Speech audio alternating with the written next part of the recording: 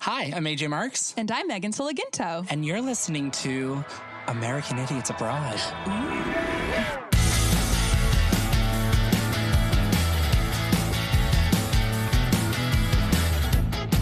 Hello, Jacad. This is a podcast we like to call American Idiots Abroad. So today we're asking what's the difference between US and UK TV and movies? Have you ever heard of 8 out of 10 cats does countdown? Why are penises on my TV screen after 10 p.m.? And why is James Corden? Truly. Uh, well, you just might find out during this episode. On this podcast, we discover what makes us uniquely American by analyzing the differences and similarities between the US and the UK with a super cool guest each episode. Weird cadence. Fun. I I just, you know, I thought I would change it up. Mixing it up.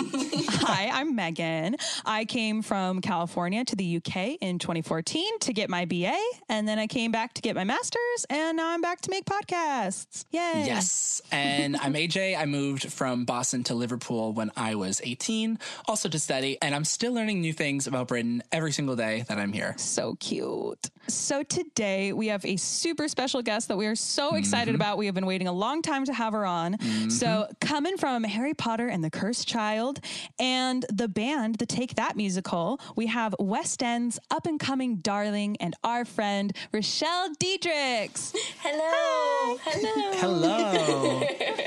Hey guys, how are you? good, good, good. Yay. So, Rachelle, tell us where you're from and where you live now. So, I'm originally from South Africa mm-hmm. and I moved to England when I was like six years old, so in 2003. And now, as of like last summer, I finally have my dual citizenship. Yes. Congratulations. Yes. Celebration. Thank you. You do not have a South African accent. Did you used to have South African accent or Uh, yeah, did you ever? so, uh, South African. when I first started learning to speak, I think I started speaking English, and because we watched like English and American telly, I picked up like this weird accent and always just was like, oh, hello, darling. Even in South Africa. A little bit. Like, my grandma used to call me her like little English girl. oh, cute. Yeah, and if I did speak Afrikaans, I'd speak like with like really rolled R's and like it was just really bad. like it was really bad. Now you are her little English granddaughter, officially. Official. Look at that. You have the paperwork to prove it. Yes, queen. Yes. so your parents are South African? Yeah, both South African, born and bred. We just live here. Do they have accents as well now, like a little bit more Londony accents, or is it still South African fully? Yeah, fully South African. So strong. but like I can't hear it. They're my parents, so I can't hear that they have an accent, but other people are like, Oh, oh. wild. Yes, I totally understand that because my dad was an immigrant from the Philippines to the US. And I remember having a conversation with my mom and his mom and saying, like, oh, it's so interesting how sometimes immigrants can not have any accent at all, just like dad. And they were like, Megan, I was probably like 10 as well. And they were like, your dad definitely has a Filipino accent. I was like, what are you talking about? They're like, it's definitely there. I remember the moment so vividly. I like looked out the window and like just thought about it, and like like my glass Pensive shattering in my brain. Like it had to be something that dawned on me. And I think my brother said it didn't even occur to him until he went to like university. Same. Yeah, it's so weird how you like you don't even hear it. Yeah. so today, as we said, TV and movies, this country has like so few channels comparatively to the US.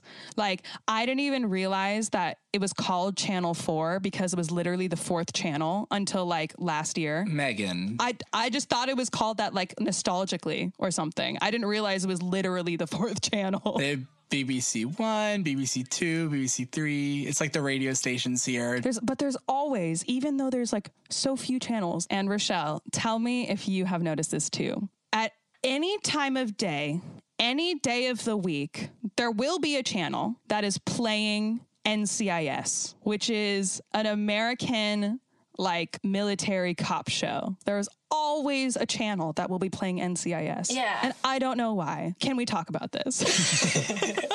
like this is literally like my childhood like i would just channel surf and like if you didn't have sky which is like i don't know is that your like version of cable It's like HBO. No, No. it's no. It's like additional TV, like TV Plus. So could you explain how just generally the TV channels work? Because I want to know if I have it right. So there's the free channels, which are like very, very few, very few free channels. 10 Yeah. or something. Yeah. And then you would have to pay for a TV license to have more? No. Please explain. So like the TV license you have to like pay for to get the BBC and that's like channel BBC 1 and BBC 2 and all that. And then if you get like Sky, which is like your broadband provider and your like phone provider, then you get like hundreds upon thousands of channels. You get 100 channels for like films and that has like your classics like blockbuster films and then weird films that are like Sky's own films that it's just like really funny and you get like me and my mum used to love watching Indian soaps and they had a channel like I think it was called like Star something but we used to watch that like all the time because it was just so extra and so amazing Oh, so they like they have Indian soap operas on um, just normal daytime television and stuff here? no that was if you had Sky Right. We have something kind of equivalent, but it would be like Telemundo. So we get like Mexican soap operas. Mm-hmm. So that's like our equivalent of like a imported soap opera, I guess. No, I like that. But it's like it's like if you pay for a Sky subscription, you can either get like Sky Sports and all the channels, like your BBC ones and ITV and all that, and then you can get like a full subscription that's like everything. So like your Indian channels, your MTV, your like your movies, like all of that stuff. We normally had Sky. Apart from that, like I, I never really watched TV apart from Family Guy Respect. on like BBC Three. Yes. And like yeah, Yes. and like Channel Four, like New Girl, and I'd always see NCIS. Like if I was like home from school, it would always be on daytime telly. There'd be like twelve episodes. It is always on. I don't know how they've done it. I'm glad you brought up New Girl because that's another show. There are a few American shows that like Britain just took and ran with it. Like so it's NCIS, New Girl. Okay, I love NCIS. I fuck hard with NCIS, so that's just me. but like I, I got used to watch NCIS when I was younger, so like I fuck hard with it, um, or at least I did. So I'm not complaining. I was just very Yeah. confused No, yeah. because it's like it's it's not like we ha- it's not like we do that in the U.S. with NCIS. yeah. I don't think. So, no, my favorite American show, I would say, would be like Ghost Whisperer. yeah, yeah. Throwback. And Buffy the Vampire Slayer. Jennifer Love Hewitt. Yes. Yes. Big Oh stan God. of oh my god. but yeah, Ghost Whisperer and Buffy, those were always on. And if you like waited long enough into the day, you'd get the like naughty Buffy episodes. Do you know what I mean? Naughty Buffy. Another American show that Britain just like took and ran with, Friends. Yes. People here love Friends. And I had it explained to me once. Friends in the US was on in the 90s as it was airing. And then I think Friends in the UK aired a couple years later. So it's just a generational thing that our generation is a lot more likely to have watched every episode of Friends or be into Friends as opposed to Americans where that generation's a little bit older. Mm. Possibly? Yeah, hundred percent. which is just very jarring coming here and then having everyone be obsessed with friends and then saying like oh i'm from boston and they're like oh so basically that's right near new york. Do you know friends? Yes i know i know of friends yes Megan, I was just gonna ask, do you remember that we had like Central Perk on Bold Street? Yes. Like yeah, in our first year it was Yes. uh, like we used to go there all the time. Yeah, there was a Friends themed coffee shop, like literal Central Perk from Friends was on Bold Street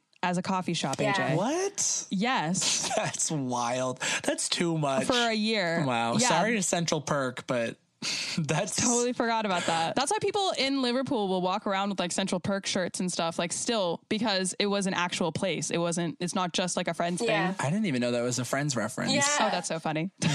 but i've seen those shirts before I was just going to say, I don't think it's just the UK. I went to university for two years in Southern California, and I had a lot of international friends while I was down there. And a lot of them were really into friends. like one of my best friends, Yuri, I think it was, shout out Yuri if you're ever listening to this. I think he even told me once that he learned English from watching Friends. He's Brazilian.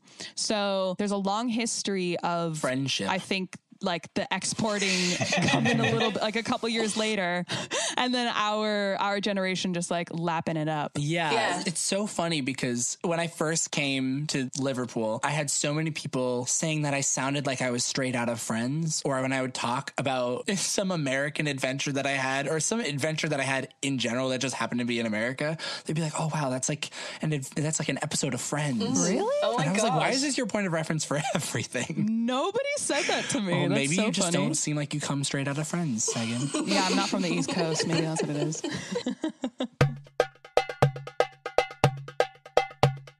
So earlier you talked about Family Guy, and I've been obsessed with Family Guy since like eighth grade.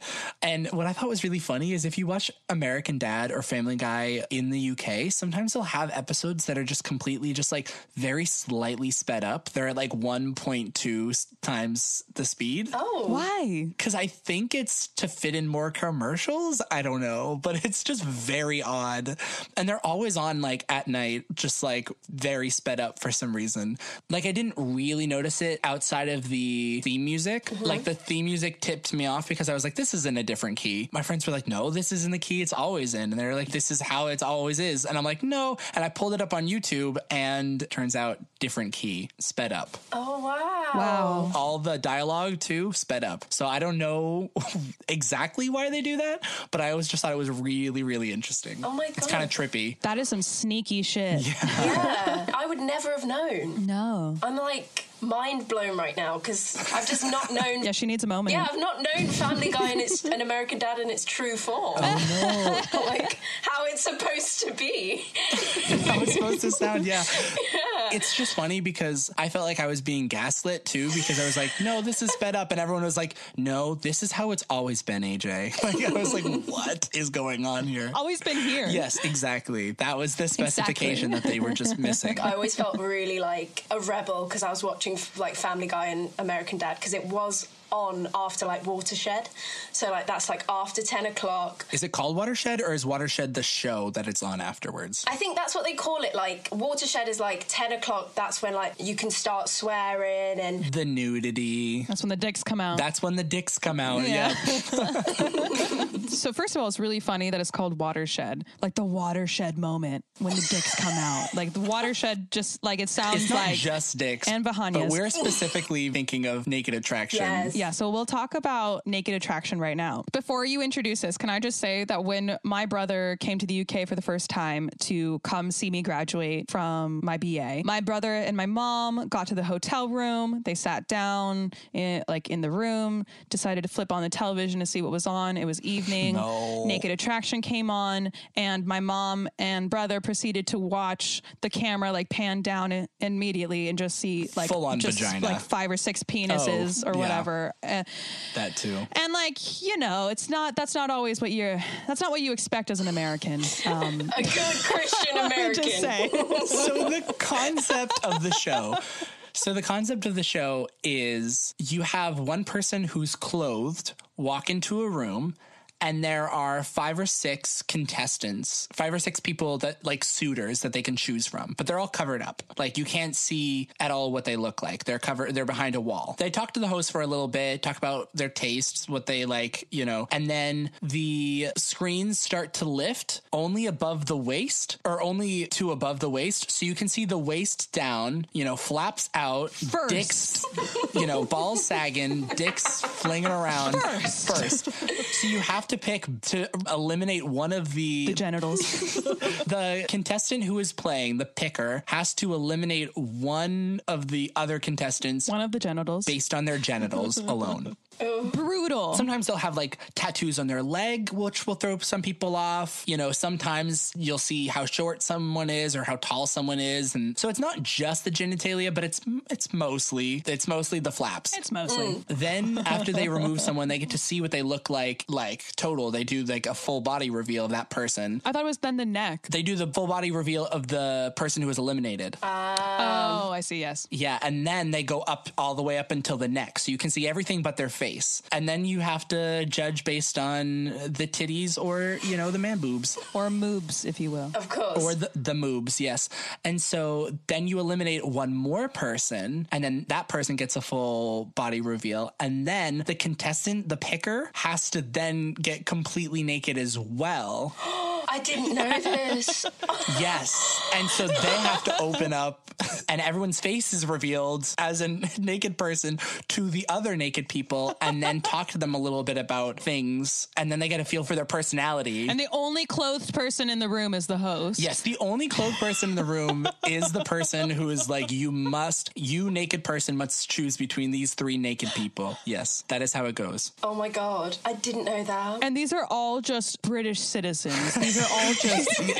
It's actually, it's a surprisingly wholesome show. Like, it's actually, you would think that it'd be raunchy, you think that it'd be sexy. No, it's like actually very wholesome. Whole. I don't think you want to use the word wholesome. Um, all right, Megan, you have a dirty mind that needs scrubbing. AJ, I love that you called them suitors.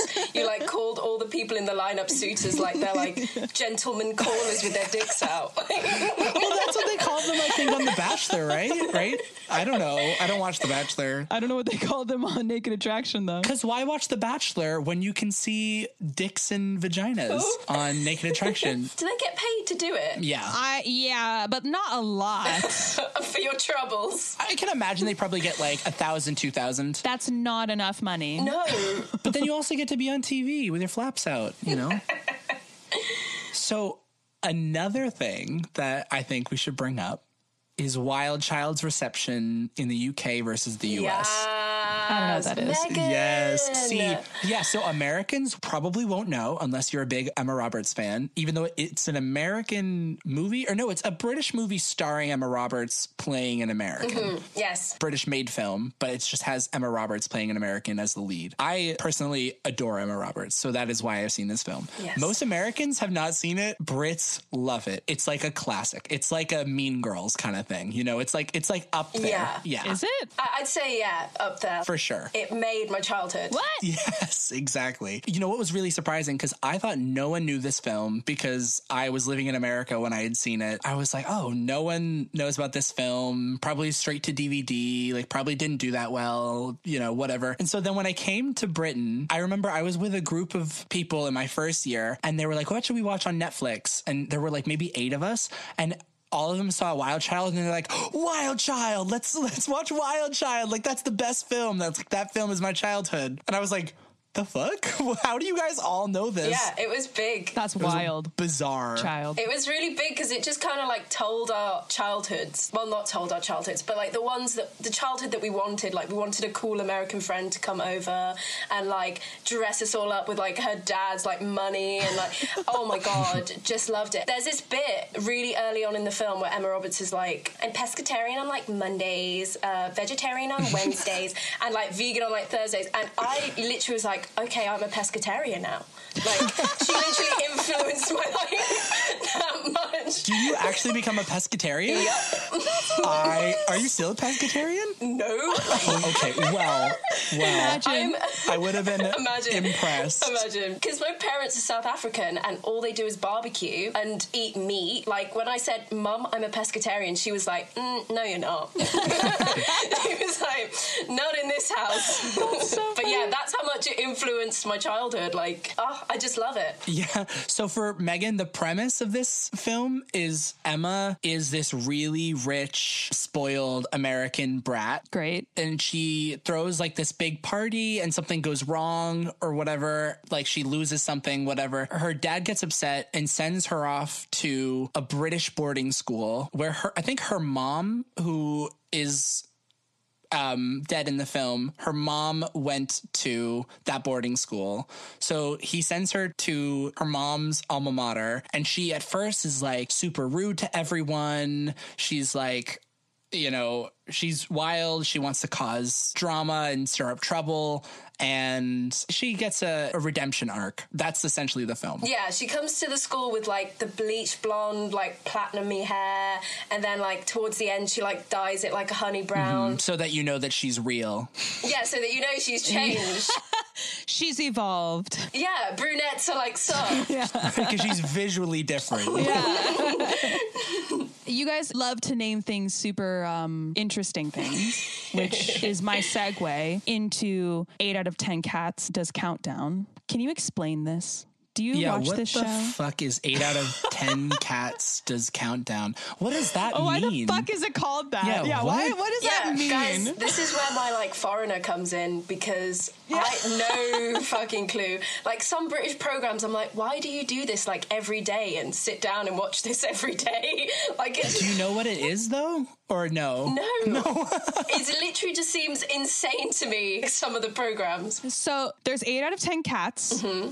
And then there's eight out of 10 cats does countdown. There are two programs. Does countdown? What is his grammar? Countdown is literally just like a maths show. Right. Like a game show kind of thing. Yeah, it's like a game show where they have like four really smart people, and like it used to be like Carol Vorderman. She would be the like presenter that's like really smart and just is really beautiful.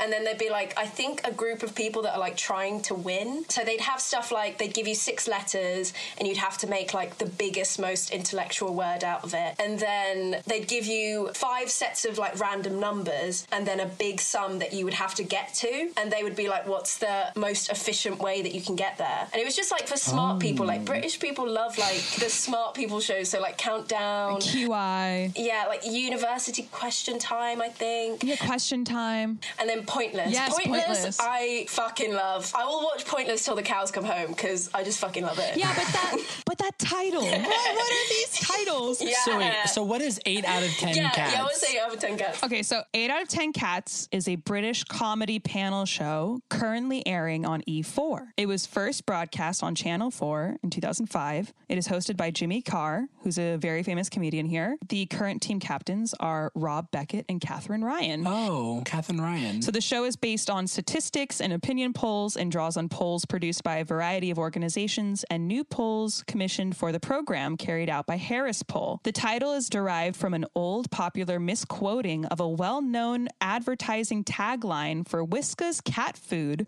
which claimed that 8 out of 10 owners said their cats preferred it. Okay. So for some reason they called themselves 8 out of 10 cats and then 8 out of 10 cats does countdown is literally the people from 8 out of 10 cats does the TV show countdown Do the smart thing. Yeah. That's such a confusing title. Right it's so confusing Yeah, I, I would never have got 8 out of 10 cats from that. I know Um, speaking of Katherine Ryan, Katherine Ryan has kind of based her whole career, not her whole career, but at least all the things that I've seen on being a Canadian in the UK and like being a Canadian working in the UK. She had a Netflix show about it. She does all her stand up about having like a really posh British daughter. I love her.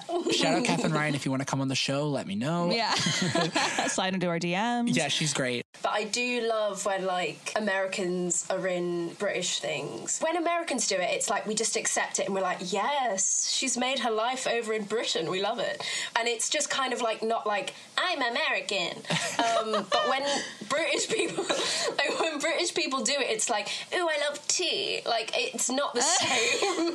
like it's just not Yeah. the same. It's like you wouldn't see a British character in Riverdale and their whole personality would be that they're British, like if they were. Yeah, I don't know. Maybe I've just not watched enough telly, but like I just don't see it as much. I want to see it more. I, I do feel like there are those shows where it's like the American is kind of like the weird element, I suppose, of the Yeah. show. Like Ted Lasso recently is the show starring Jason Sudeikis about English football. Okay. He was like an American football coach who came over. It was based on a advertisement that did really, really well like seven years ago. And then they've made an entire TV show out of it. And now it's like nominated for a bunch of awards. I love Jason Sudeikis. I should watch this. Apparently, it's like one of the best shows of 2020. It's like so wholesome, hmm. but it's about like this American, like not really understanding British football, but he's their coach. I might learn something about football from that show. Yes. And then we also had Rob Lowe star in a show called Wild Bill. He played an American cop that came over to Boston, UK, I think it is. Not Boston, UK. There's it Boston. Yeah, there There is. Shut up. I met someone who was like, they were like, "Where are you from?" And I was like, "Oh, I'm from Boston." And I'm not actually. I'm actually from Boxford, but it's like just right near Boston. So to Brits, I'm from Boston. So I said, "Oh, I'm from Boston," and they're like, "Oh, I'm from Boston too, but Boston, England." And I was like, "Huh? What? Hello?" yeah, it was wild. And then I looked it up, and there's both a Boxford and a Boston in England. I'm just convinced that every place in the UK has a name in the east coast of the US. Yes. Yeah. Everything in New England, all the streets, you know, when I had British friends come over to Boxford, they were like, every street, every town name, everything is just named after something in England. And I was like, yeah, huh? That's why it's called New England. Yep. New York, just York. That's what happens when you colonize. Yay! Yes. Sorry. That's what happens. Exactly. And that's why we have all the Spanish names on our side. Yeah. Yay! Colonization.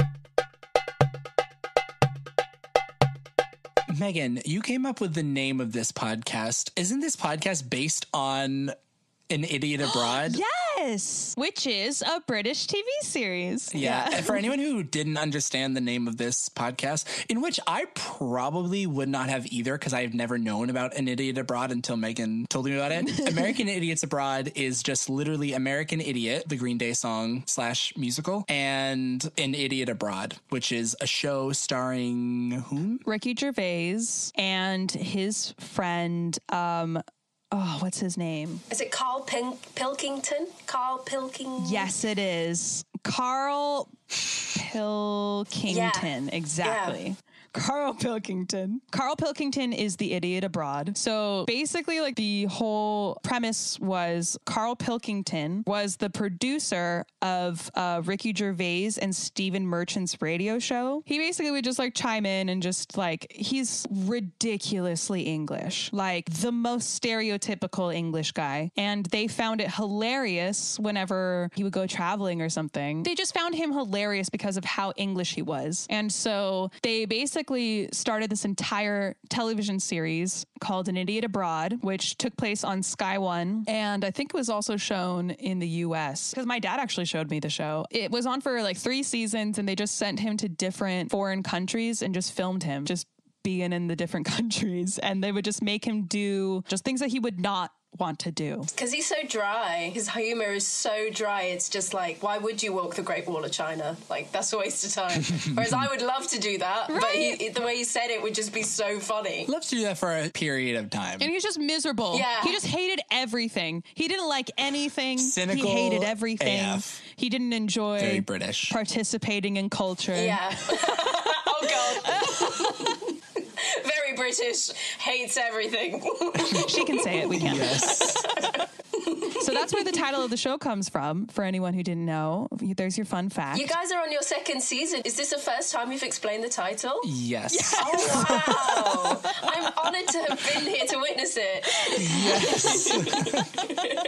Can you please grace the audience with your Missy impression from Big Mouth? Okay. Oh, yes. Let me remember Missy. Um, Fans of Big Mouth. So you you have officially auditioned for the role of Missy yes, I did. in Big Mouth. I did. yes. Which is wonderful after your Twitter campaign, which I my loved, by the way. I, I'm obsessed with that video. I sent it to so many people. I was like, I, "Can you believe Rachelle can do this? Listen to this. This is amazing." I'm trying to remember what she sounds like now. Um, Andrew, can could you please do a, a British accent for me? Because like I think all Americans can't do British accents, and I need proof. Yeah.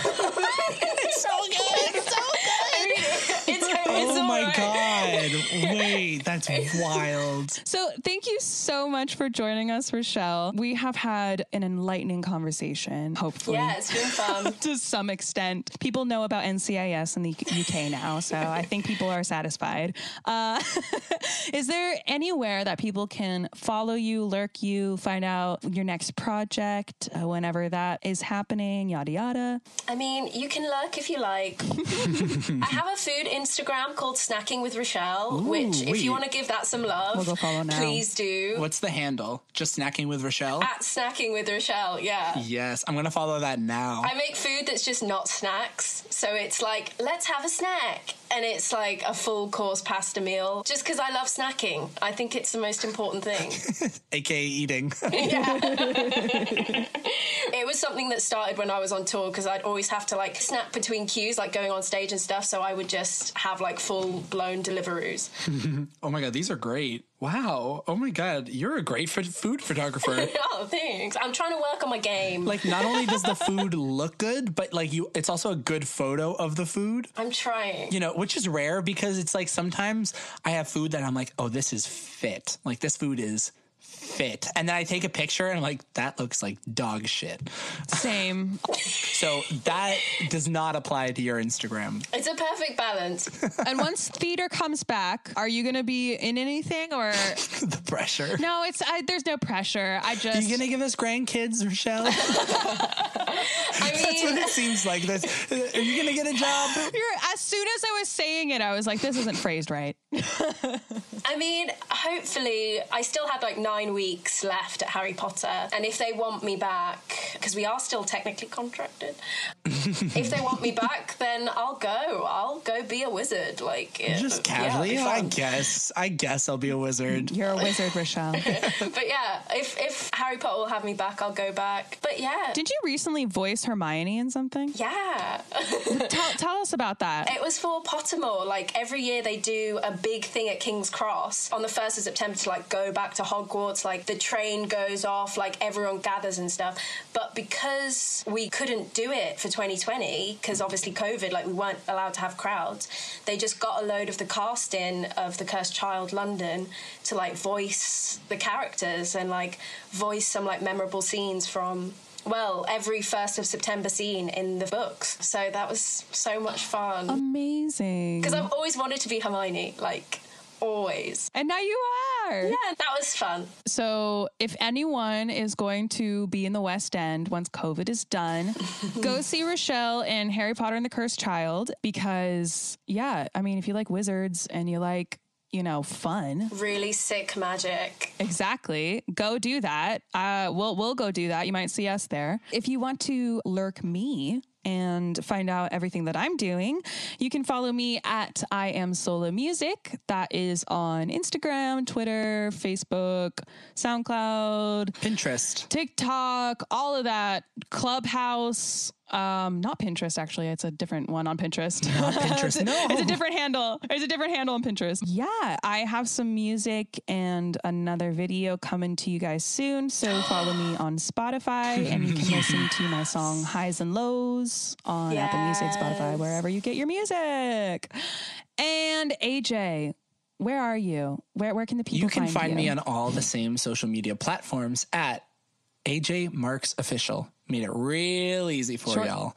And um, sweet. And also, yeah. we have a second series called Main Pop Girl, which you can check out. That's for a subreddit called Popheads. Essentially, on that podcast, all we do is talk about pop music. So we recently released some episodes about One Direction. Yeah, so if you like shit like that, you can check that out. It's called Main Pop Girl. And then we also have a website soundbytepodcasts.com. That is our company name. Yeah. If you like this episode, if you like all the other previous episodes we've done of American Idiots Abroad or of Main Pop Girl, we also do blogs to accompany all the episodes just to kind of like add on to all the things that we wanted to talk about in the episode, but we couldn't get to. So feel free to check that out. If you want to find out more, go find those online at soundbytepodcast.com. Yes, sirree. If you like this show, please leave a review. It would really help us and let us know what you want to hear next time. It would really help Megan. I would be unaffected. It'll help me emotionally. Only, yes. only me, not AJ. Yes. if you want to support me, you'll have to do so in other ways. Actually, to support me, support Megan by giving this show five stars. That's adorable. And supporting AJ today. AJ, do you want to go out on a clip of one of your songs? Because we haven't done that in a while. Yes. Sure. Yeah. Yeah. Right. You know, I haven't heard in a while. Let's go. Let's let's go out on the Switch. Oh, cute. Yeah. Yeah. Go find AJ Marks on Spotify or Apple Music and stream this song. This is "The Switch" by AJ Marks. Okay, let's take it from the top. It all started when she walked his way. This might sound optimistic, but it's not. Reads out more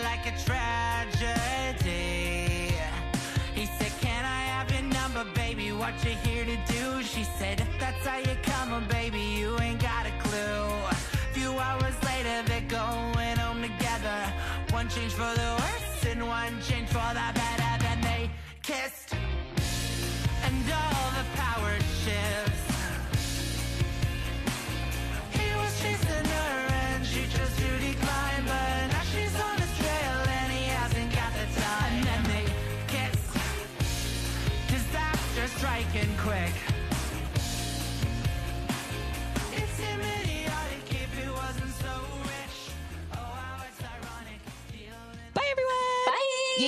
Thanks for having me. Bye. Thank you, Rachelle. Peace out.